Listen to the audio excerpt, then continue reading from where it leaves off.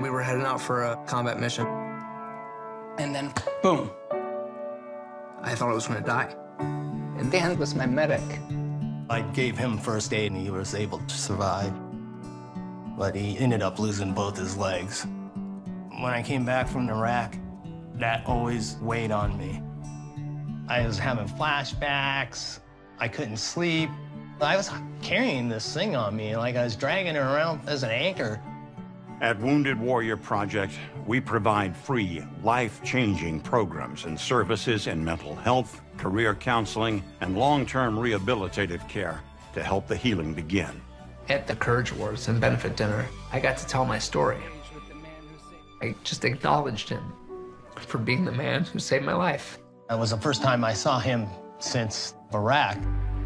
I could never repay Wounded Warrior Project. They have helped me get my life back.